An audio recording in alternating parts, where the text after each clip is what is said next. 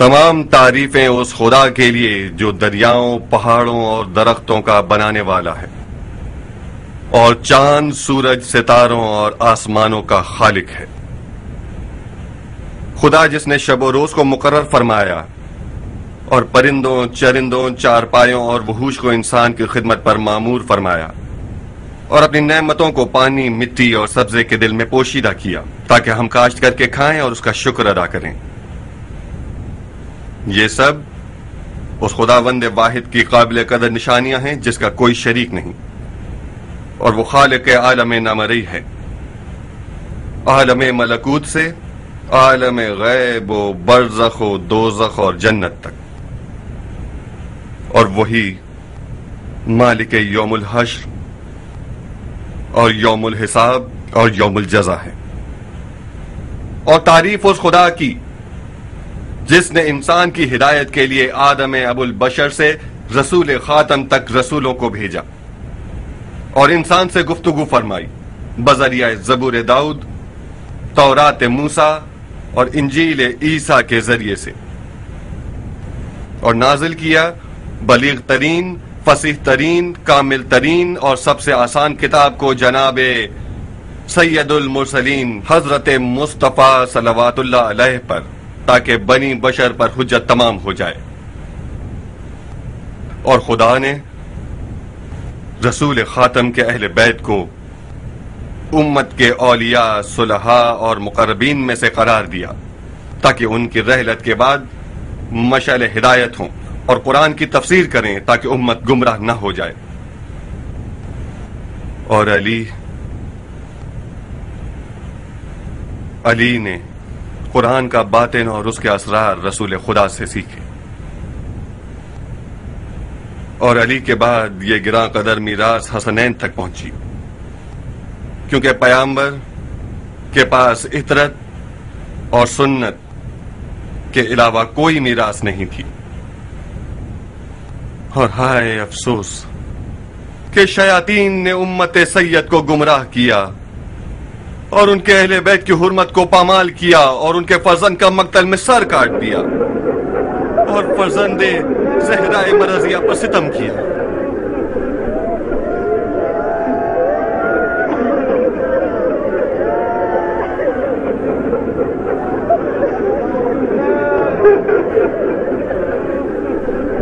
और तारीफ़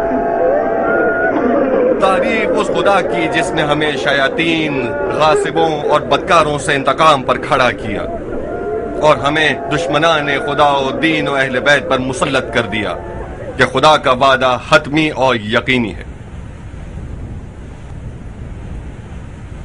ए लोगो, अब हम रह गए हैं और हमारे मरने वालों का ढेर, जिन्होंने बहुक्म खुदा इतात की। और अपने खून को अहले बैत रसूल पर कुर्बान कर दिया। और मलकूत में अपना घर बना लिया। और हमारे अमाल पर हाजिर और नाजिर हो गए हैं और इस इंतज़ार में हैं कि हम ज़मीन पर अदालत और इंसाफ फैलाएँ। ए लोगो, अब हम हैं और दो गुमराह करने वाले गिरोह हैं जो हीलागर, शोबदेबाज और मक्कार हैं। और रसूल खुदा की जगह पर ना हक कब्जा करके बैठे हुए हैं। और दीन के नाम पर हम पर जुल्म करते हैं और हमें कत्ल कर देते हैं। सुनो लोगो, आप लोग अहले हिदायत थे और अब खुदा ने आपके हाथों हिदायत का एक परचम लहराया है कि जिसे अगर बचा लें तो आप कामयाब हैं।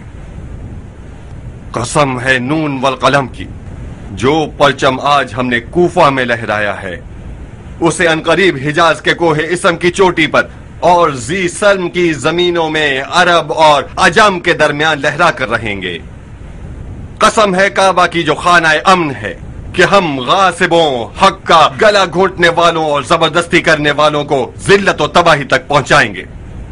ए लोगो, ए मोमिनो, ए खुदा के मुखलिस बंदों, अगर मुझे अपना अमानतदार जानते हैं तो मुझसे कुरान सुन्नत पयाम्बर तरीक़त अली इब्न अबी तालिब और कातिलान अहल बैत रसूल के किसास की बिना पर बैत कीजिए।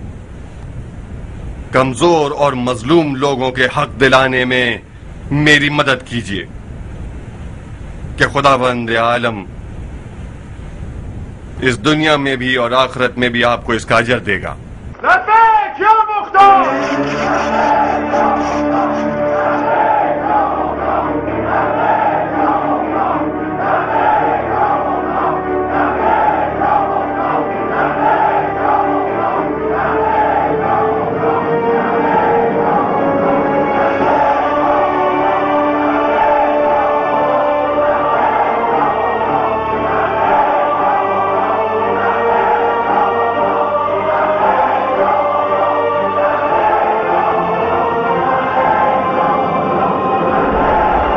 खुदा की कसम, मैंने अली की बैत के बाद से अब तक इससे ज़्यादा शीरी बैत नहीं की थी, मुख्तार।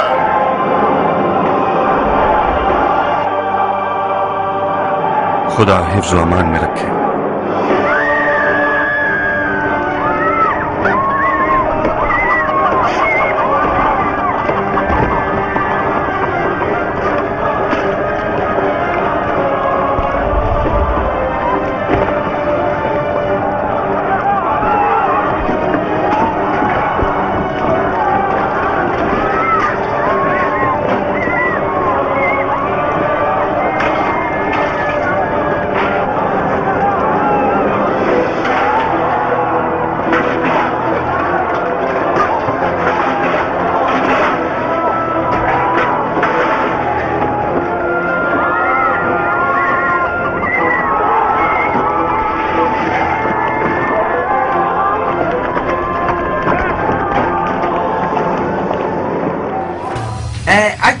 बुढ़िया ए प्यारी सी बुढ़िया, दाढ़ी, ये दाढ़ी मेरी दुश्मन जहाँ है। कम वक्त ये अब अबरू किसी सौकन की तरह है।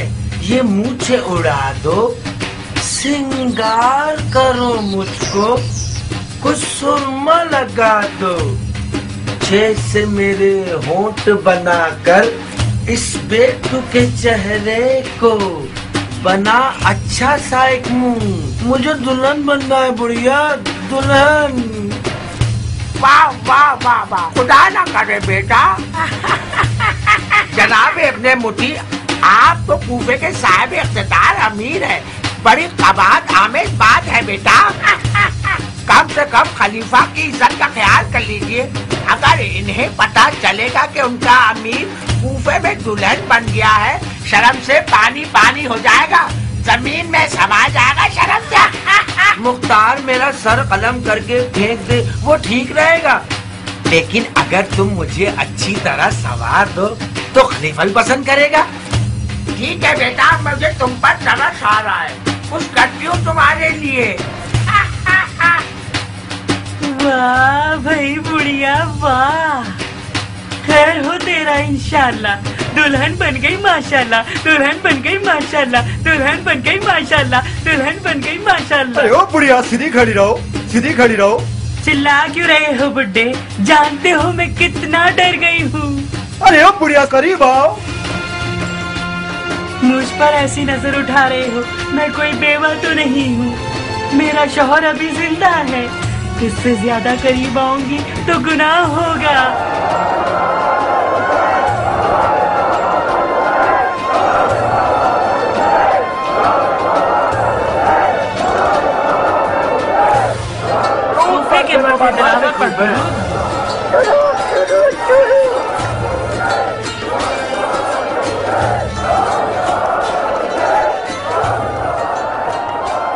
बिन। कामिल जी अमीर। इन लोगों से कहो अपने तमाशों में गंदगी से परहेज करें। जी अमीर। और हाँ जल्द अज जल्द शुरतों सिपाहियों को मुनजम तौर पर आमादा कीजिए। कूफा में अब हर फैसला कानून के हाथों होगा। आज के बाद कोई कबीला अपनी मनमानी से कोई कदम नहीं उठाएगा। अब तमाम मुजरमों को कानून उनके हर गुनाह की सजा देगा लोग नहीं। हत्या के खालिफों से बदतमीजी गाली गलोच और लड़ाई झगड़ा मना।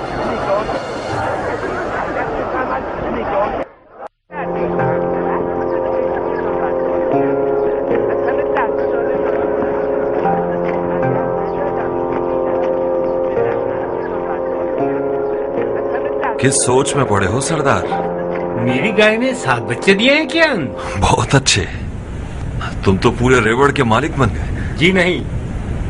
अमीर मुझसे कूफे में नज्म जब्त मांगते हैं। तो तुम तो कूफे के नाजिम बन गए। नया होता मुबारक हो।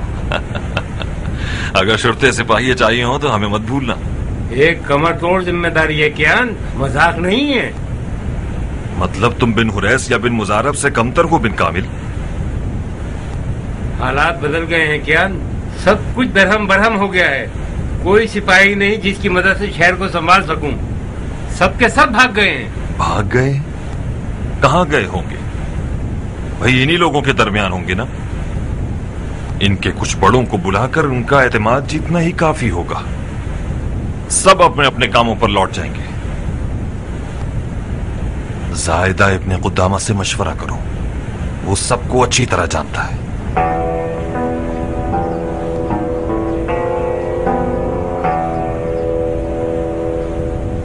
हमारे तमाम मुखालिफिन को अमान है। बशर्त यह कि हमारे खिलाफ तलवार न उठाएँ। हर किसी के अकीदे उनके लिए मोहतरम हैं। अगर कोई किसी जुर्म का इरतकाब करता है तो उससे निमटने के लिए कानून और शरीयत मुकदस है। जो लोग हमसे बैत करने को मोहतरम समझते हैं, वो हमारे दोस्त हैं और हम उनके हुकूक का दिफा करने के जिम्मेदार हैं। माफ़ी चाहता हूँ, अमीर। आपके बहुत से तरफदार। कूफे के इज्जतदार और शरीफ अरबों को जान और माल लूटने की धमकी देते हैं। हालात कुछ ऐसे हैं कि सब इंतकाम लेने के फ़िक्र में हैं। बहुत से अजम हजरात जो पहले अरब के शरीफों के गुलाम और नौकर हुआ करते थे, वो अपने आकाओं से बदतमीजी करने और गुस्ताखी करने लगे हैं। अगर ये दावा ठीक निकला तो इसके सरगना लोगों को शदीद तरीन सजा सुनाऊँगा। अगर किसी का कोई हक जाया हुआ है तो वो अदालत में शिकायत करे। वो बरहक हुआ तो कानून उसे उसके हुकूक दिलाएगा। कौन सी अदालत अमीर? फ़िलहाल न तो कोई अदालत मौजूद है न कोई काजी कुर्सी पर है और न कोई कानून जारी है। जरा सब्र से काम लीजिए। हमने अभी ही मामलात की बागडोर संभाली है। मुआवजा तो नहीं कर सकते। अभी सुन लीजिए। ये हैं अहकाम सुनाओ कातिब। अहकामात सुनाओ ताकि कानून नाफिज करने वाले अभी से काम शुरू कर दें।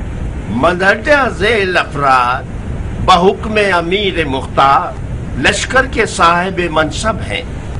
उनकी ज़िम्मेदारी ये है कि जल्द अज जल्द अपने मातहत अफराद को मुतन कर लें और जुजई और मजमू तौर पर अपने नायबीन को मुकर्र कर लें। और नज्म जब्त और कानून को हुकूमत अमीर मुख्तार में राइज करें। इनके नाम और मनसब ये हैं। इब्राहिम इबन मालिक अस्तरे नखई, लश्कर के सिपह सालार अब्दुल्ला इबन कामिल शाकरी, कूफे का नाजिम और फौज खुदा के जिम्मेदार। कयान ईरानी जिनका लकब किसान अबू उमरा है। खुफिया फौजों का सरदार। साइदा इबन कुद्दामा कूफे के कैद खाने का दारोगा। कुर्सी कजावत के बारे में पहले की तरह काजी शुरह कूफे का सबसे बड़ा काजी होगा। काजी शुरह के बारे में भी सुन लीजिए कि उन्होंने बीमारी और बुढ़ापे को अदालत के कामों में खलल जानते हुए साथ देने से इनकार कर दिया है। लिहाजा, उनसे दरख्वास्त की कि जब तक हमें कोई मुंसिफ और शरीयत के मसाइल पर अबूर रखने वाला काजी न मिल जाए, जहमत कबूल करें। आगे पढ़ो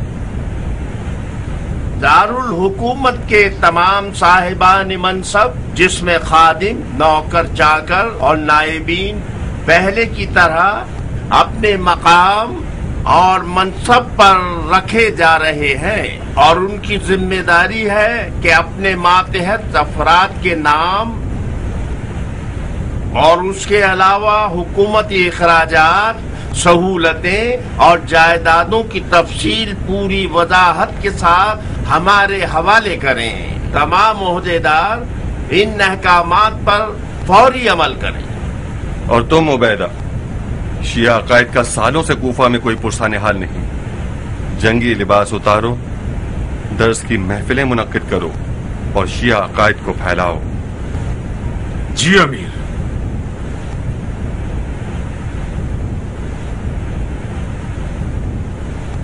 तुम्हें क्या लगता है क्या ये एक सही रवैया है? क्या कह सकता हूँ बिन शुरेत मैं सियासत से बिल्कुल भी आशना नहीं हूँ। आशनाई की ज़रूरत नहीं है। काजी शुरे की असलियत छुपी हुई नहीं है। उसने उजदू में उदी और उसके साथियों के किस्से में उनको मारने की राय दी थी और हानि के वाकये में उसने अमानतदारी भी नहीं दिखाई। मुख्तार की हुकूमत और इब्ने मरजाना की हुकूमत में क्या फ़र्क रह गया जब उनका शरई काजी एक ही है?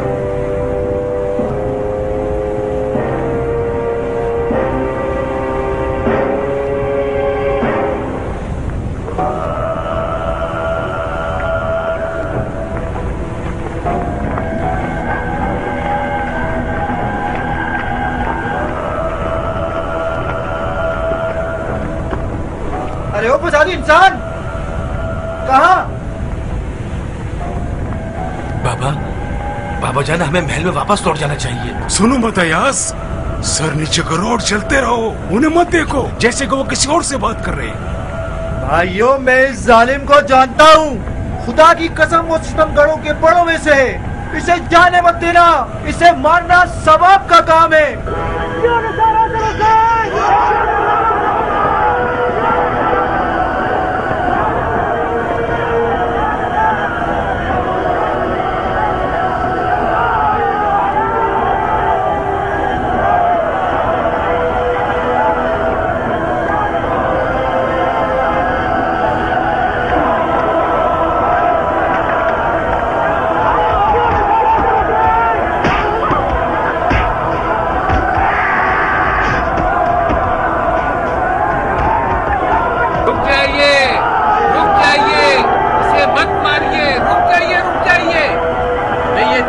अमीर की क्या राय है?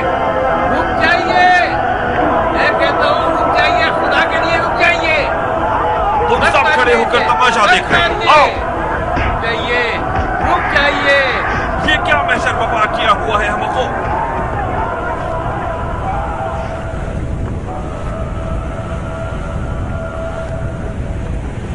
आदम खोरो जाहिलो ये क्या किया तुम लोगों ने? तुम लोग किस तरह के मुसलमान हो कि एक इंसान को बेगुनाह मार डाला?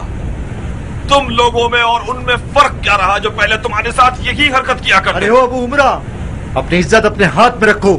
क्या तुम लोग भूल गए हमने किस लिए कायम किया है?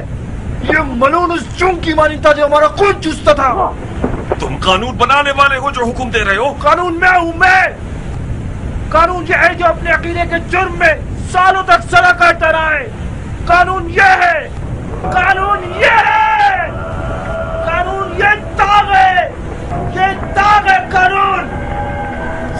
कसम। खुदा की कसम उस्ताद जरा भी टेढ़ा होना चाहे, या फसादियों की हिमायत करने लगे और उनका साथ देने लगे तो अरब की टेढ़ी तलवारों से उसे सीधा कर देंगे।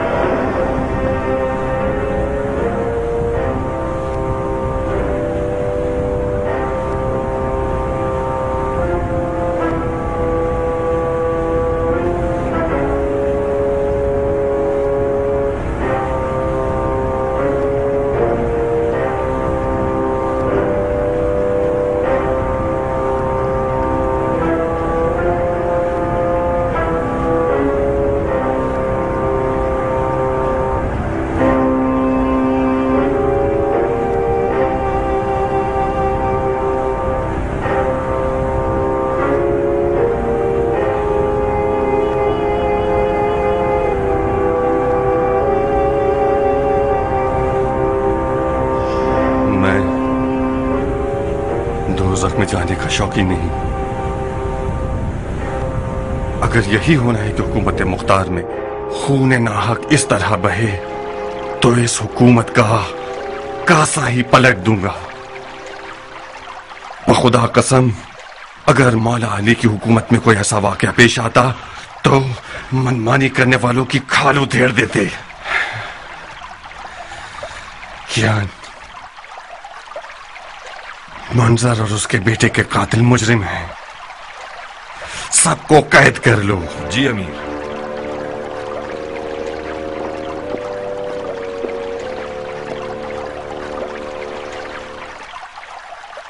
हमारे दरमियान कुछ और तय हुआ था।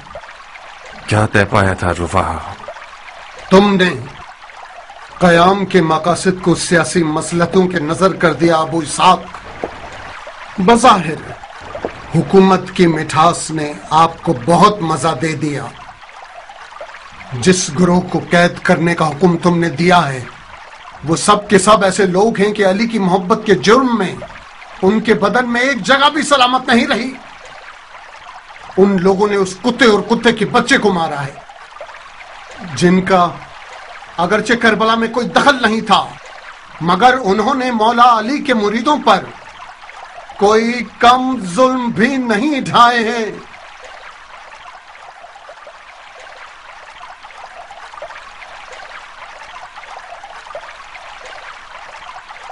क्या बात है अबू इसहाक? अदल इंसाफ का प्रचार करने के सिलसिले में इतना परेशान है। अगर हर किसी को अपनी राय के मुताबिक तलवार चलानी है और अपने ही फतवे पर अमल करना है तो इस तरह की हुकूमत के कोई मान ही नहीं है। ये कैसा फलसफा है तुम लोगों का? ये तुम लोग हो जो अपने फलसफे के साथ हुसैन के दागदारों के जख्मों पर नमक छिड़क रहे हो। आप लोगों ने कातलान हुसैन के किसास के वादे पर कयाम किया। इन लोगों से इंतकाम लेने का वादा किया। तो फिर क्या हुआ? कातलान हुसैन, हमारी नज़रों के सामने शराब पी रहे हैं और हमारी दाढ़ियों का मज़ाक उड़ा रहे हैं। हम इंतकाम लेना चाहते हैं। आप कहते हैं हर चीज़ अपने वक्त पर होगी। हम सियासत के साथ काम करना चाहते हैं। ये कैसी सियासत है जो इन लोगों के मुकद्दस गुस्से की आग पर पानी डालकर उसे बुझा देना चाहती है? क्या आप डरते हैं कि आपकी हुकूमत खतरे में पड़ जाए? अगर आपने हुकूमत पाने के लिए कयाम किया है, जिसकी वजह से लकड़ी के सहारे चलना चाहते हैं तो हमारा कोई ऐसा अवसर नहीं है। बिन शद्दाद। मैं नहीं चाहता कि शियों के क्याम को बचकाना फैसलों और इस तरह की जल्दबाजियों से जाया कर दूँ। शियों ने आप जैसों के गैर संजीदा फतवों की वजह से कुछ कम नुकसान नहीं उठाए हैं। कभी अपने दौर की जरूरतों को समझा ही नहीं तुम लोगों ने। अगर मैं ये कहूँ कि हज़रत मुस्लिम इब्न अकील का खून तुम जैसों के सर पर है तो गलत ना होगा। कभी भी कभी भी अदालत के रास्ते पर नहीं चले तुम लोग। न में, न करबला में और न ही आज। हमेशा या तो अपराध किया है या तफरीत अगर अपने आप को अली का शिया जानते हैं और अगर चाहते हैं कि अली के साहब की हुकूमत बाद तीस साल शिकस्त और तकलीफों के बाद कोई नतीजा दे, जाइए और अपने आप और अपने खुदा के साथ तन्हाई में बैठिए। और जिस काम के बारे में पता नहीं है, उसमें दखल अंदाजी मत करो और अपने ये दो टके के फतवे मत दो। क्या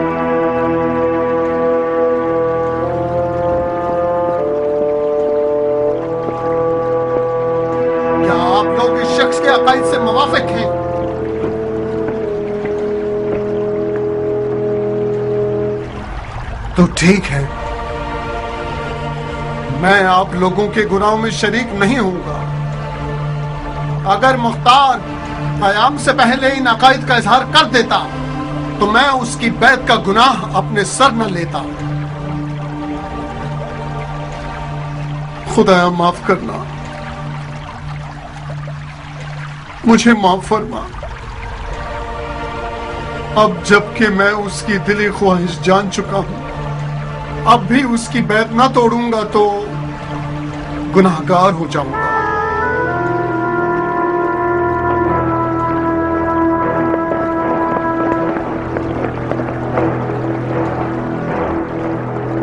रुक जाओ रुफाहा तुम तो आधे रास्ते के साथ ही न थे। कहाँ चले? मेरे साथी कब्र में सो रहे हैं। एनुल वर्दा के बयाबान में मैं सुलेमान की कब्र की मिट्टी पर तयमुम करने जा रहा हूँ। ताकि जो हाथ मुख्तार की बैत में नजस किया है उसे पाक कर सकूँ। इस्तिगफार करो रुफाहा तुम्हारा और मुख्तार का मिजाज नहीं मिलता।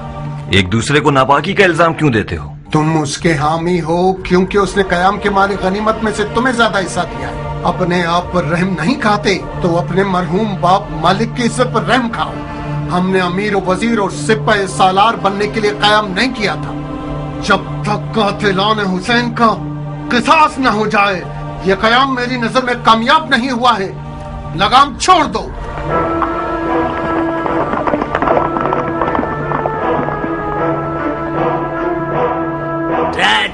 मत करो शाबाश। बैते मुख्तार बैते मुख्तार। मुख्तार ने अब तक सौ मरतबा कुर्बानी से वो हाथ पाक किया होगा, जिससे तुम्हारी बैत ली है। हाँ। भेड़िए के खतरे से डरने के बजाय पुरसुकून हो गया है। अगर अगर मुख्तार ने तुमसे ली हुई बैत न तोड़ी और तुम्हें सूली पर न चढ़ाया तो मैं अपनी इन मूछों को जला दूँगा। तुम इस चूहे की दुम को मूछे कह रहे हो। ये जुए और अयाशी के बचे हुए सरमाई की शर्त क्यों लगा रहे हो? वो ऐसी शर्त लगाओ जो समझ में तो आए। तुम्हारे वालिद के नाम को अपनी वालदा के नाम से जोड़ दो तो ठीक रहेगा। शबस हल्के हो जाओ। सनान अपनी तमाम तर सादगी के साथ भी समझ चुका है कि तुमने मुख्तार की बैत करके अच्छा नहीं किया। उसकी बैत चूल्हे भाड़ में जाए शेमन बेचारा मजबूर था तो कुछ नजासत खाली। मगर ये जो इसने मुख्तार की अमान पर यकीन कर दिया इस पर मेरा खून खोल रहा है। शेम्र क्या तुम लोगों पर यह नौबत आ गई है कि इस नाकिसुल की बातों को अपनी हुज्जत समझते हो? गूफे के बच्चे से लेकर बूढ़े तक सब जानते हैं कि मैं उमर साद के लश्कर में था और हुसैन से जंग की है मैंने। अगर मुख्तार इंतकाम के चक्कर में होता तो कभी मुझ जैसों से बैत लेकर खुद को बदनाम न करता। क्या तुम लोग बहरे थे जो रुफाहा की इन्हीं बातों पर मुख्तार से होने वाली अलहदगी की खबर नहीं सुनी? का तुमसे बैत लेना सिर्फ़ एक चाले जंगली ऊँट। शबाश क्या तुम्हें वाकई ऐसा लगता है कि मुख्तार हम जैसों की बैत को मोहतरम जानेगा? फ़िलहाल तो मोहतरम जाना है। उमर साथ को लिखा हुआ अमान नामा दिया है। ये सब सियासत के पैतरे हैं।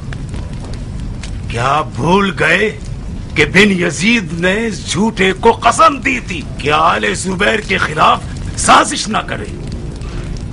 कुरान पर हाथ रख के कसम खाई मगर जैसे ही आज़ाद हुआ, उसने कसम तोड़ दी। ये खसलत मुख्तार है। जहाँ वो अपने दुश्मन को धोखा देने पर मजबूर होता है तो सर पर बिठा लेता है। मगर जहाँ उसकी मजबूरी खत्म वादे वही तोड़ देता है। मसलन ने उसे कैसी मजबूरी लाक थी जो उसने हमारी बैत कबूल कर ली? तुमने हमें पागल समझा है शबस। मुझे कहता है ना किसुल अक्ल अगर वाकई तुम ये नहीं जानते कि मुख्तार ने तुम्हारी बैत क्यों कबूल की है तो बहुत बड़े बेवकूफ़ हो।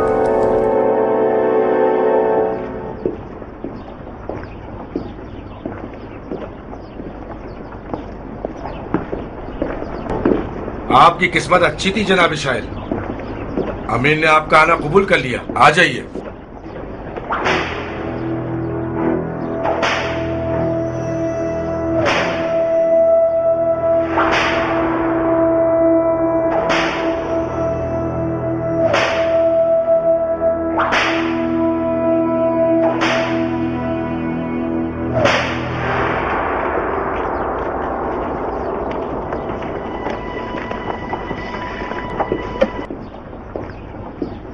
कहाँ चले बिन हमाम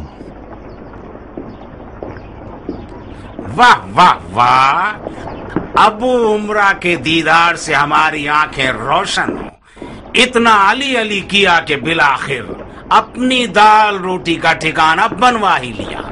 मैंने सुन रखा था कि अबू तुराब के मौजजात में से एक ये है, अगर हकीर उससे तवस्सुल करें तो बाइज्जत हो जाते हैं। आज तक मुझे यकीन नहीं आता था।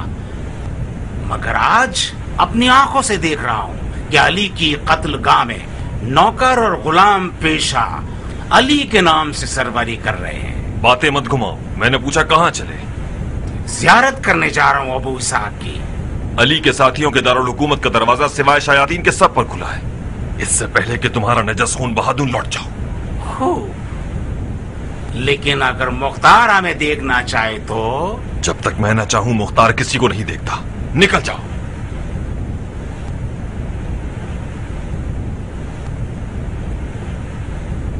तो फिर मुबालगा नहीं है कि कूफे वाले अबू उमरा का नाम सुनकर काँप कर रह जाते हैं।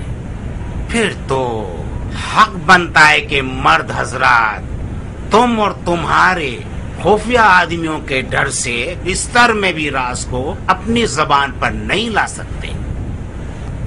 क्या कर रहे हो अबू मुरा? अली ने कब तुम लोगों की रविश पर हुकूमत की है? अली इंसानों पर हुकूमत करते थे। तुम जैसे शयातीन पर नहीं। क्या हुआ बिन कामिल? कोई फ़ायदा नहीं ज्ञान क्या मतलब? मतलब ये कि अमीर फ़िलहाल बिन मुद्दी के बारे में कुछ भी नहीं सुनना चाहते।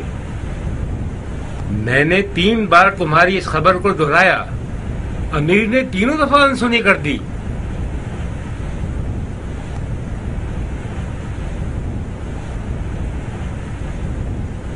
तुम अभी तक यहीं हो मलून?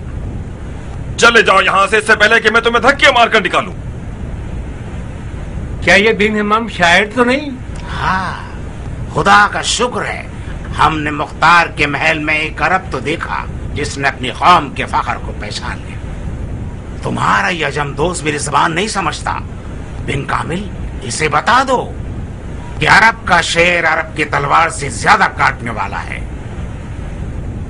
आखिर तुमने भी तो उससे हमेशा ताजियानों की जबान में बात की है? क्योंकि वो अली का मुरीद था।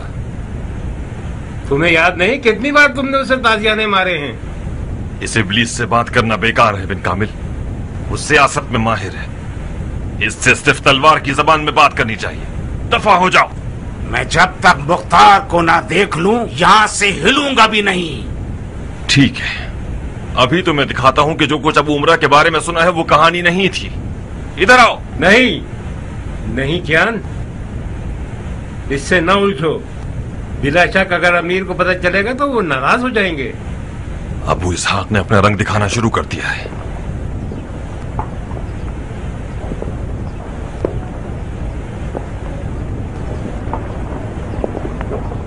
ज्ञान बोलो। तुमने मुझे क्यों कहा कि बिन मोती की खबर अमीर को दूँ? तुमने इतनी मेहनत करके उनके ठिकाने का पता लगाया तो आखिर खुद क्यों नहीं गया बताने के लिए? क्योंकि मैं अजम हूँ और तुम अरब हो। क्योंकि बिन मोती अशराफ अरब में से अगर मैं खबर पहुंचाता तो कुछ लोग फ़ौरन अरब और अजम के बुगस को उस्मान का कुर्ता बना देते। पता नहीं अबू इसहाक क्यों इतना बदल गया है। रात, कयाम की रात और मुख्तार। कूफे की छतों से आग उठने लगी और या लसा रात अल हुसैन के नारे ने कूफे को हिला के रख दिया। गोया कयामत की घड़ी थी और मिसदाक इजा जुलजिलतिल अर्दो जिलजालहा। कबीला मिजज से एक ऐसा बहादुर जवान जिसका सीना सिपर था और दिल दरिया की मानिंद था, जो खलीलुल्लाह का हम नाम था, मुख्तार से जा मिला। इब्राहिम उस सरदार का बेटा था, जिसकी बहादुरी के किस्से मेरी माँ की लोरियाँ थी और दुल्हनों का तराना था। और वो ऐसा लड़ा कि सबको ये लगने लगा कि जैसे मालिक अश्तर अर्श से ज़मीन पर आ गया है। कबीला असद से एक और शेर गुर्राया और यजीद इब्ने अनस ने रकाब में पाँव रखा और अपनी कौम के जवानों के साथ किसी जोश मारते हुए सैलाब की तरह दुश्मन पर हमला आवर हो गया। दुश्मन की तादाद सर के बालों की जैसी थी। और मैंने आमर बिन शुमैद को देखा कि दुश्मन पर इस तरह तलवार चला रहा था कि गोया सरों के बाल उड़ा रहा था। रात अबू तुराब के साथियों की रात थी और अली उस रात दोबारा मसनदी अदालत पर बैठ गए।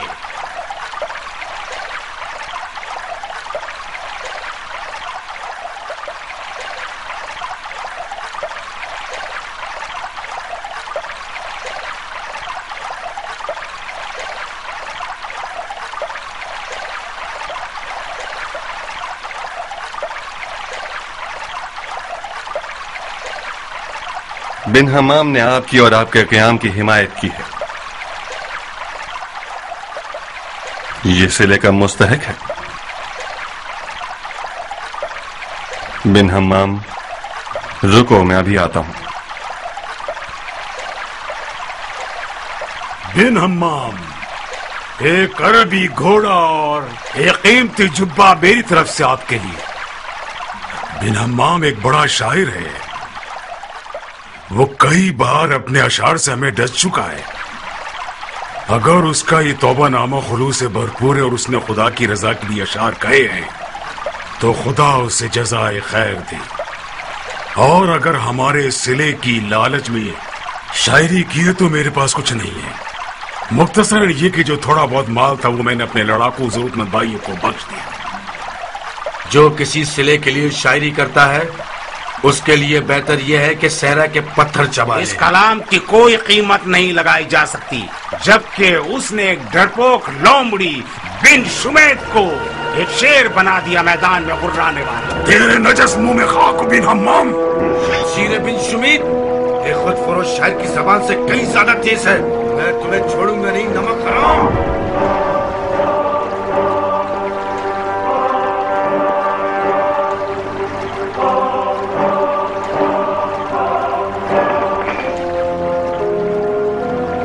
बिन हम्माम, मेरी हिमायत में। ये शराफत और मर्दानगी के खिलाफ है शायर ने आप लोगों की तारीफ़ की है। आप लोग उसकी तोहीन कर रहे हैं। उसे सिला नहीं देते तो मत दीजिए। उसे पत्थर क्यों मार रहे हैं?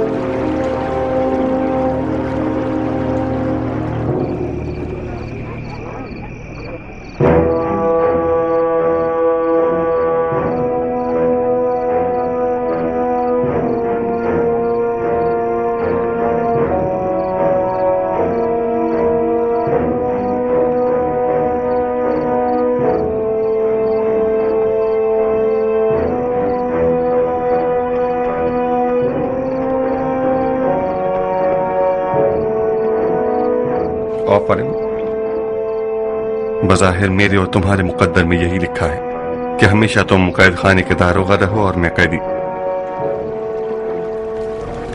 अभी भी यही हो रहा है। मैं वही कैदी हूँ जिसका छोटा सा कैद खाना इतना बड़ा महल बन गया। अगर गौर से देखें तो सारी दुनिया कैद खाना है। क्या तुम्हें यकीन आएगा कि मुझे इस महल में वही कैद खाने के दिनों का सा एहसास होता है? मुझे नहीं पता था कि मेरे हाथ पाँव इस कदर बन जाएँगे। तुम मेरी जगह होते तो मेरे दर्द को समझते। तुम्हारी नज़र में मसले की जड़ कहाँ है? मसले की जड़ दोस्तों की नादानी है।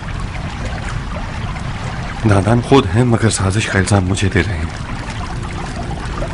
तो मत लगाते हैं कि मुझे ताकत का मज़ा लग गया है। मेरा जोश ठंडा हो गया है।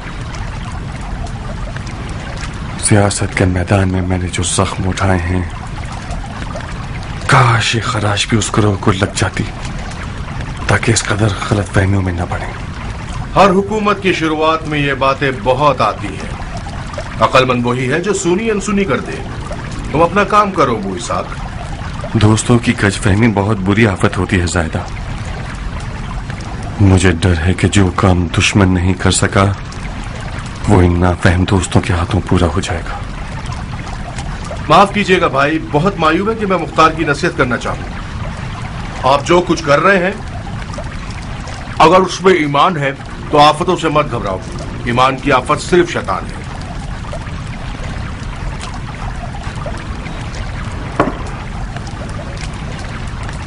औजुबिल्लाहिमिनश्शैतानिर्रजीम जायदा हुक्म कीजिए। बहुत आम काम के लिए बुलाया है मैंने तुम्हें। कोई जानी खतरा तो नहीं? नहीं ऐसा खतरा नहीं। मुझे पता है कि तुम अब तक जिंदान और दुनिया से दिल लगाए हुए हो। हम्म, मुझे लिहाज करना कतई नहीं आता। और अपनी जान भी प्यारी है। अगर तुम्हारे ये अहकामात मेरी जान को खतरे में ना डाले तो सराख पर लेकिन अगर मेरे खून का एक कतरा भी बहने का इम्कान है तो माफ़ी चाहता हूँ। वाकई तुम बहुत सच्चे हो। आप हुक्म तो फरमाए चचाजाद भाई। तुम्हें बिन मुती के पास जाना होगा। बजाहिर वो अबू मूसा अशारी के घर में छुपा हुआ है। ये ये रकम उसे दे दो और उसे कहो कि उसके छुपने की जगह का राज फाश हो गया है। उसे जल्द अज जल्द कूफे से चले जाना होगा। वरना हो सकता है कि किसी भी वक्त रुफाहा और उसके साथियों जैसे दीवाने वहाँ पहुंचकर उसके टुकड़े टुकड़े कर दें अगर कूफा से निकलने में मदद मांगे तो उसकी मदद कर देना। जब तुम्हारे बेखतर अहकाम ऐसे हैं तो फिर तुम्हारे खतरनाक अहकाम कैसे होंगे? तुम बिन मुती की मदद क्यों करना चाहते हो मुख्तार? तुम्हारे दोस्त समझ जाएँ तो तुम्हें छोड़ देंगे। किसी फर्द को भी पता नहीं चलना चाहिए जायदा। इसीलिए ये काम मैं तुम्हें सौंप रहा हूँ। ये एक राज है मेरे तुम्हारे और खुदा के दरमियान। आखिर बिन मुती की जान तुम्हारे लिए इतनी अहम क्यों हो गई है? अगर बिन मुती यहाँ मारा जाए तो जुबैर के बेटे को उकसाया जाएगा कि इराक की सरहदों पर हमला कर दे। और तुम्हें पता है कि हमें अनकरीब मजबूरन मरवानियों से जंग लड़नी पड़ेगी। मगर अभी हमारे पास इतनी ताकत नहीं है कि पैक वक्त जुबैरियों और मरवानियों दोनों से लड़ सकें। इसके अलावा मोहम्मद हनफिया मक्का में है। अगर बिन मुती कूफा में मारा जाए तो जुबैर का बेटा उसके खून के किसास में सैयद की जान के पीछे पड़ जाएगा। और अगर सैयद उसके दबाव में मसलहतन हमारी हिमायत से पीछे हट जाते हैं तो क्याम की मेहनतें ज़ाय हो जाएँगी। जाओ जायबा। जाओ और इससे पहले कि ये लोग समझ जाएँ कि बिन मुती कहाँ है उसे यहाँ से भगा दो और मामले को मिट्टी तरह दबा दो। हम्म, फिर तो खतरा लेना अच्छा लगेगा। मुख्तार की बहुत सी कामयाबियाँ उसके चचाजाद भाई जायदा के मरहून मिन्नत हैं। तुमने हमेशा मेरी हिमायत में खतरा मोल लिया है। इसके बदले में बहुत अच्छा सिला पाया है। तुम इस जिंदान बान के अहदे से थके नहीं? जब तक मुख्तार का दरोगा हूँ नहीं। इजाज़त चाहता हूँ। खुश रहो। फ़ी अमानिल्लाह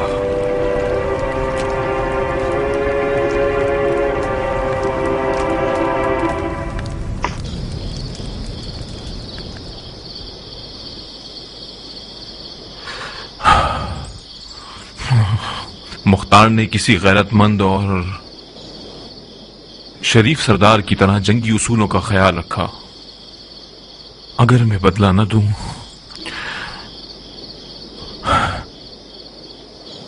तो नमक हरामी होगी। उससे कहो, जहाँ तक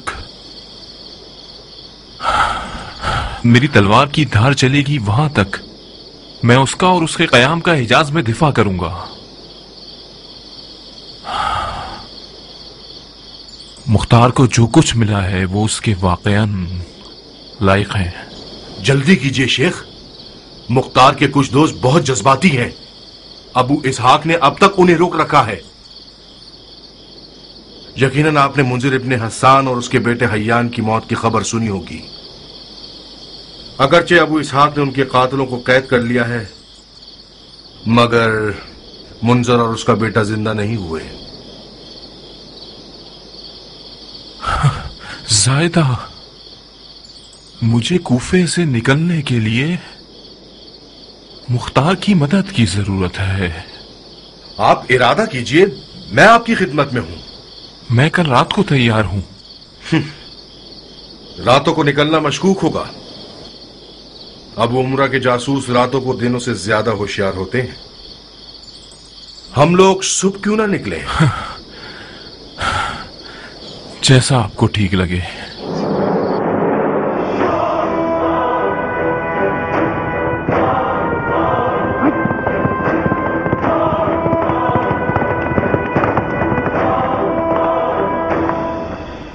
अर्ज़ अब्दुलरहमान इब्न सईद इब्न कैस जनाब अमीर मुख्तार के लिए। अम्माबाद इब्न जियाद ने अपने लश्कर के साथ सरजमीन मूसल में पड़ाव डाला है। मैं आपका हुक्म आने तक तकरीब की जानिब चला आया हूँ और आपके जवाब का मुंतजिर हूँ। फरमा रवाय मूसल को लिखो कि तकरीब में रहो और वहाँ से बाहर न निकलना जब तक कि हमारा लश्कर तुम्हारे पास न पहुँच जाए। और साथ ही सिपह लश्कर को खबर दीजिए कि मेरे पास हाजिर हूँ। बजाहिर इब्ने मरजाना को मरने की बहुत जल्दी है। मैं अभी तक कूफे के अंदरूनी हालात से मुतमिन नहीं हूँ। बिला तकल्लुफ इब्राहिम जब तक तुम कूफे में हो मुखालफिन में हंगामा आ रही की हिम्मत नहीं बेहतर यही होगा कि तुम खुद कूफे में ही रहो और अपनी जगह किसी और को इब्ने जियाद से लड़ने के लिए भेज दो। मेरी आरज़ू थी कि इब्ने मरजाना को मारना मुझे नसीब हो। लेकिन आपकी मसलहत में मेरा कूफे में रहना बेहतर है तो मैं रुक जाता हूँ। तुमने मुझ पर भरोसा किया उसका बहुत शुक्रिया। वैसे तुम्हारी नज़र में इस हसास काम के लिए कौन मुनासिब है? यजीद। Yazid ibn Anas. तो फिर वक्त के बगैर हुक्म दो कि बिन अनस आधे लश्कर के साथ चलने के लिए तैयार हो जाए।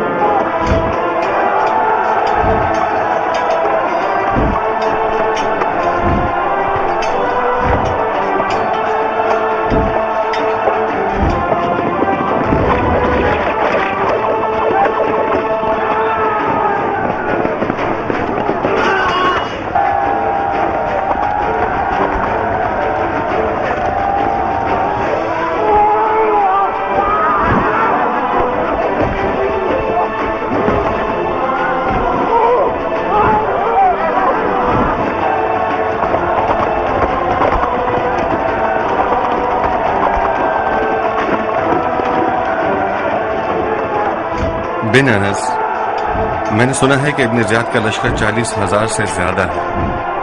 क्या यह बेहतर नहीं था कि तुम तीन हज़ार से ज़्यादा अफराद ले जाते? आप इन तीन हज़ार को तीस हज़ार जानी अमीर।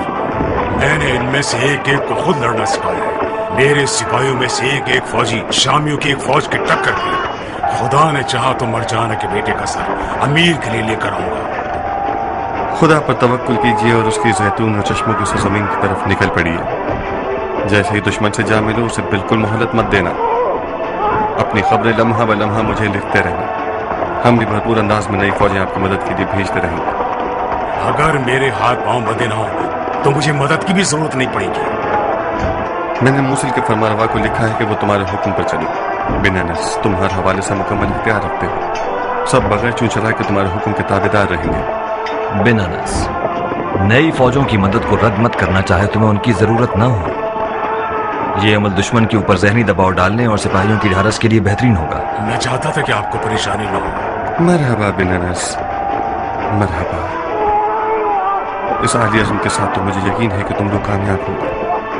खुदा की कसम अगर दुश्मन से मुकाबले पर जीत न सका तो कम अज कम शहादत को हाथ से जाने नहीं दूँगा।